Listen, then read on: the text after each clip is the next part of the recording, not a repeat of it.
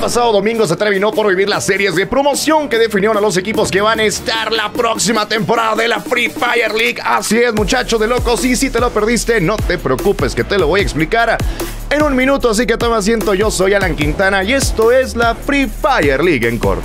En el Cono Norte, Six Karma mostró una faceta de total dominio con 43 puntos que lo dejaban en la primera posición de la general. Sin embargo, Fantasy Gaming, quien no tuvo el mejor comienzo, remontó en el tercer mapa con 24 puntos para igualar el resultado de Six Karma y cerrar la mitad de la jornada en la segunda posición.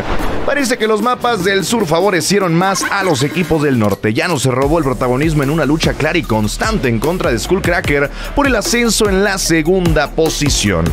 Alan jugó un papel fundamental para que Six Karma pudiera mantener su cupo en la Free Fire League, ya que cerró con 14 eliminaciones, siendo el más letal de toda la jornada, además de sellar la clasificación a la ola verde con 7 eliminaciones en el cuarto mapa. Contra las mismas estadísticas, Six Karma mantuvo su cupo en la Free Fire League con 92 puntos, seguido de un recién ascendido Llanos en su segunda posición con 74 puntos.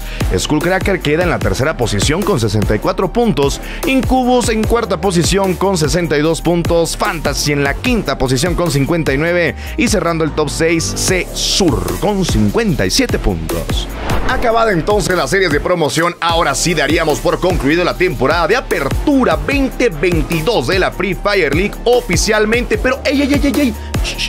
No te pongas triste que se viene la fiesta grande la Free Fire World Series está a la vuelta de la esquina donde dos equipos latinoamericanos buscarán alcanzar la gloria. No te lo puedes terminar por perder y acompáñanos a través de los canales oficiales de Free Fire Latam. Yo soy Alan Quintana y nos estamos viendo entonces en los campos de batalla.